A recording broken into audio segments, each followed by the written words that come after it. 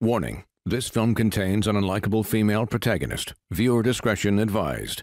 Have you ever wanted to be noticed so badly? You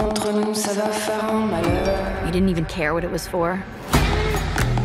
Danni Sanders might actually be the worst person we've ever covered on the show. Acting like she was the victim turned a lot of people off to her. I was just gonna bleach the front bits, but I'm really not trying to get mistaken for Danni Sanders.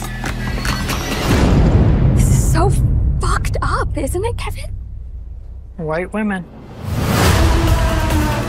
My name is Danni Sanders, and on April 10th, A string of terrorist attacks struck Paris. I almost died. Just kidding.